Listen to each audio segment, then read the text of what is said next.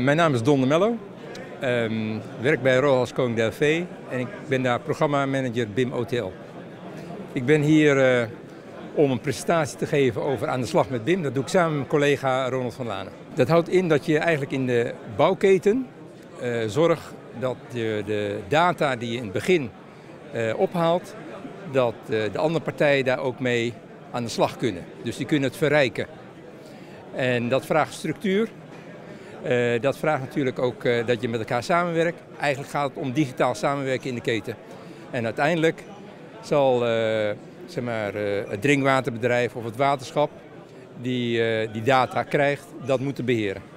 Op dit moment zijn wij bezig om een objecttype bibliotheek op te zetten voor Waternet. dat betekent dat zeg maar, de objecten die straks worden uitgevraagd als project. Die worden nu gestructureerd. Uh, daar wordt dus uh, ook specifiek informatie aangekoppeld. En straks kan het gewoon in het project door middel van aanbesteding naar een marktpartij worden doorgezet. Dat is een riool waterzuiveringsinstallatie. Eind 2015 zijn we gestart om dit verder hand en voet te geven. We hebben een project gedaan bij provincie Gelderland, Traverse Dieren, nou, dat zit op dit moment in de uitvoeringsfase. Uh, wij uh, zitten inmiddels ook in het RWS-BIM-programma met uh, drie collega's en helpen RWS met het ontwikkelen van een objectentypebibliotheek en nu ook uh, voor Waternet. Nou, het, het, verschil is dat ehm, je nu vanuit asset management de informatie al structureert. Die gestructureerde informatie die kun je digitaal doorzetten naar je projectteam, die het vervolgens aanbesteedt, ook digitaal. De opdrachtnemer werkt met die informatie, ook digitaal. En zet het ook, de verwerking, de oplossing, ook digitaal terug. En op een gegeven moment komt het gewoon in je onderhoudmanagementsysteem terecht.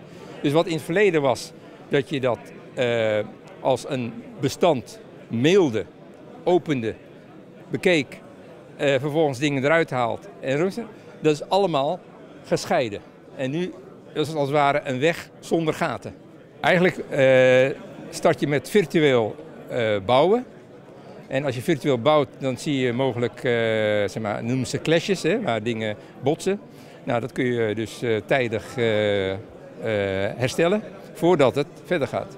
Nou, en dan van virtueel bouwen ga je naar fysiek bouwen. En virtueel is natuurlijk die informatie die uh, je vastlegt in structuren en die komt dan terug.